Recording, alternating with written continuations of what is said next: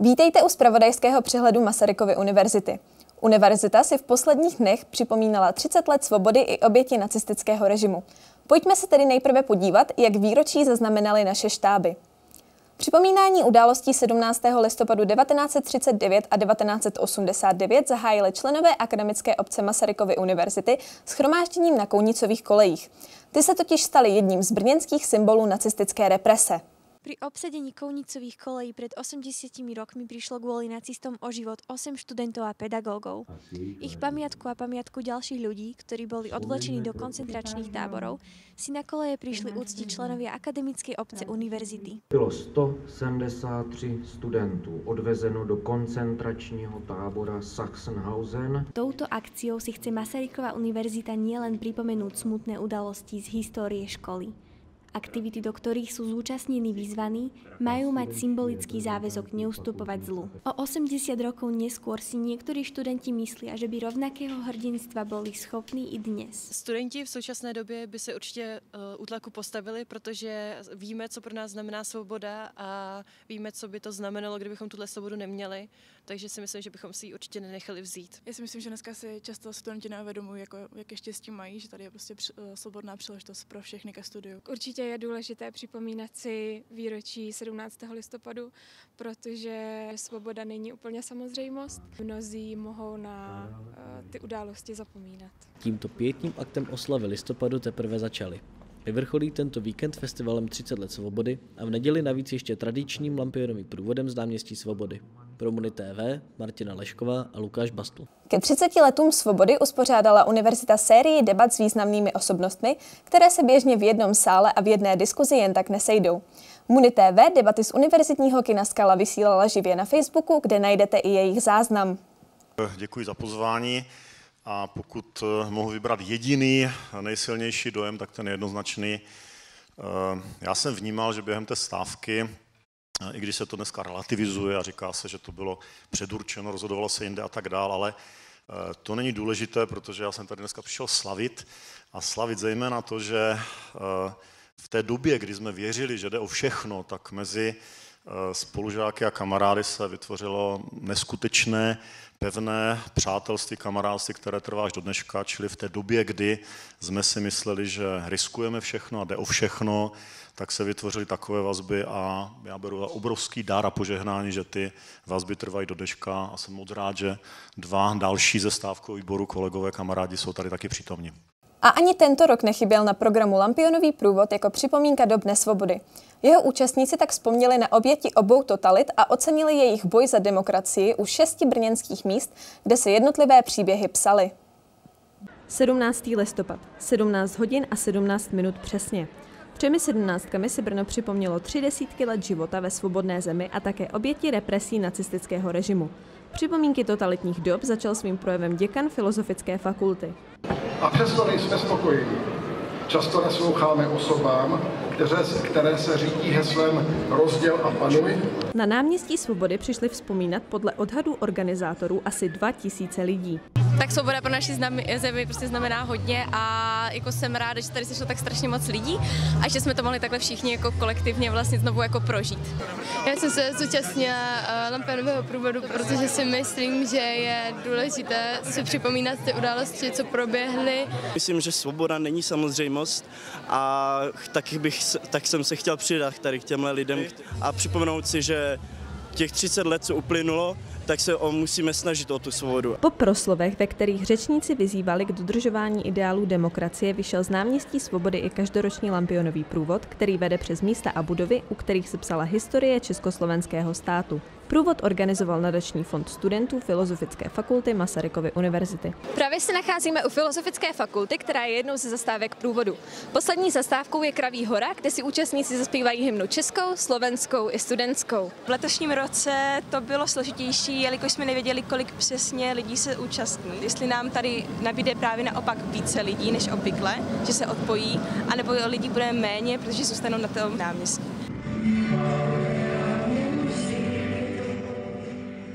Pro Muni TV Jan Mikulášek a Jana Drápelová. přednášky, improvizační workshopy a divadelní představení. To vše připravili na osmý ročník Mezinárodního festivalu francouzského divadla studenti a členové divadelního spolku Echo na Pedagogické fakultě. O své schopnosti se přijeli podělit i zahraniční hosté.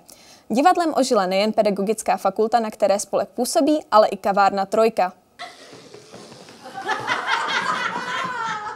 Studuje francouzský jazyk na pedagogické fakultě pátým rokem a říká, že každý učitel musí být i trochu hercem.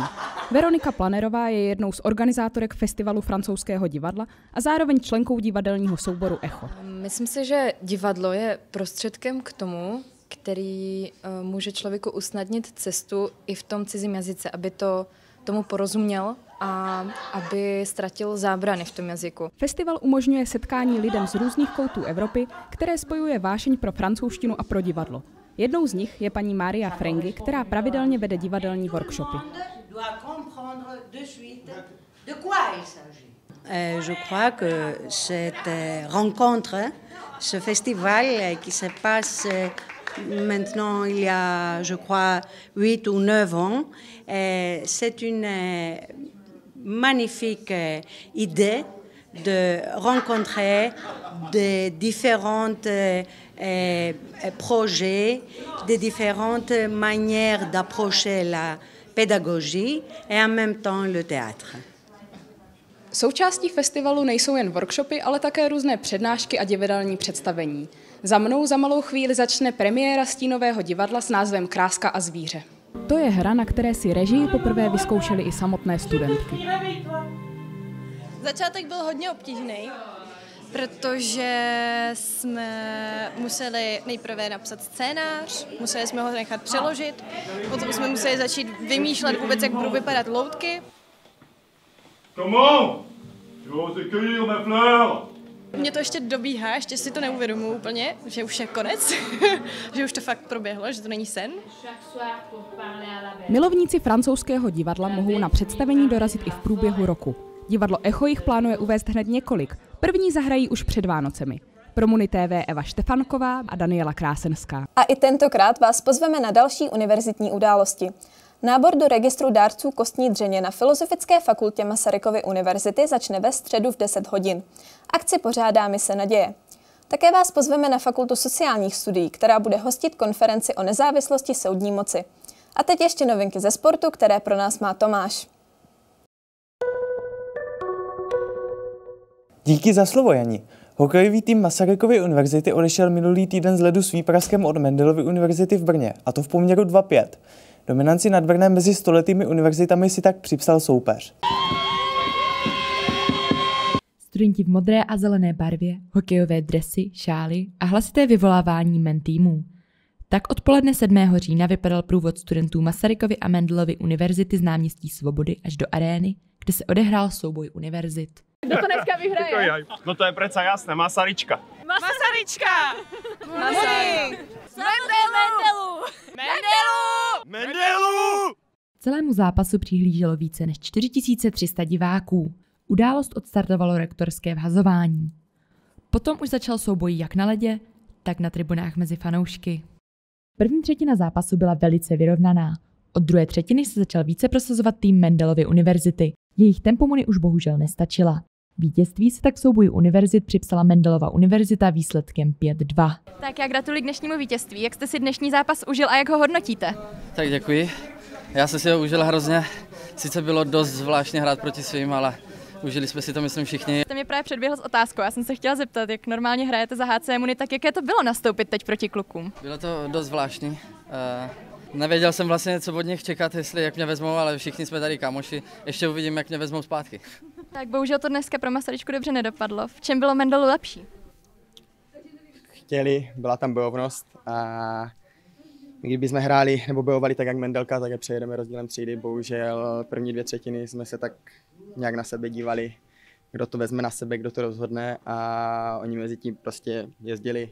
A co říkáš na atmosféru a fanoušky celkově? Fanoušci výborní, ty víme, že máme vždycky nejlepší fanoušky, jak v univerzitní lize, tak, tak teď se zase ukázali lidi z Masárny, takže jim patří velké díky a já doufám, že si najdou cestu i na tu univerzitní ligu. Po hokejovém utkání se mohli fanoušci se svými týmy potkat ještě na afterparty v brněnském klubu Fléda, kde se slavilo vítězství i porážka až do brzkých ranních hodin. Pro Muni TV Lukáš Bastl a Andrá Harmutová. Stovka běžců se sešla na kampusu Masarykovy univerzity v Bohunicích, aby zabojovala o pohár děkana Fakulty sportovních studií. V kategorii žen se na start postavila i naše redaktorka Eva Štěfanková. Neodradil ich silný dážď ani nízke teploty. Milovníci behu si prišli zmerať sily v boj o pohár dekana Fakulty sportovních studií. Medzi nimi som sa na štart postavila aj ja, i napriek tomu, že aktívne nešportujem. Takže máme pár minút pred závodom, ako vidíte, ženy za mnou sa už rozcvičujú, tak sa k nim idem pridať aj ja. Akciu organizovali študenti odboru učiteľstvo telesnej výchovy so zameraním na kondičný tréning. Ako priblížila jedna z organizátoriek, najťažšie pre nich bolo dať sa dokopy ako tým. Jelikož to máme v rámci jednoho předmětu, který, který nemáme všichni, tak to máme asi dohromady asi 15 lidí a zorganizovat úplně všechno od eh, různých eh, propagačních věcí, cen, diplomů a všeho možného bylo složité to všechno pokrýt eh, lidmi, aby nás bylo dost. A je to tu, začína štart, cítím jednu nervozitu, nie som veľmi vhodne oblečená, uvidíme, či to zvládnem. Tento ročník bol rozšírený o kategóriu detí a najlepšieho zamestnanca a zamestnankyňu fakulty. Deti si zabehli 500 metrov, ženy 3 kilometre a na mužov čakal 5-kilometrový okruh. Ostáva nám posledné kolo, myslím, že to zvládam.